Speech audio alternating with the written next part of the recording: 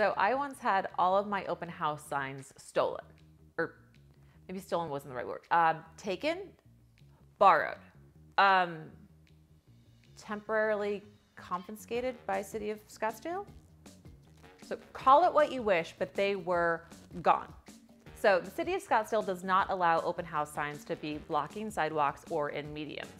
But I really wanted to get this house sold and I was super excited about my open house. So I put signs everywhere. But the city took them all. Long story short, the city came around and picked up all of my open house signs and took them and wanted to issue me a fine. Mm, not my best moment.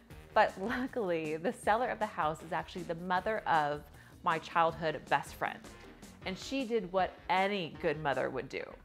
She called the city of Scottsdale and demanded that they return my open house signs immediately with an apology and not issue me a fine.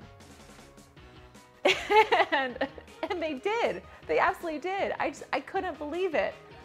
Moms are so fierce, so fierce.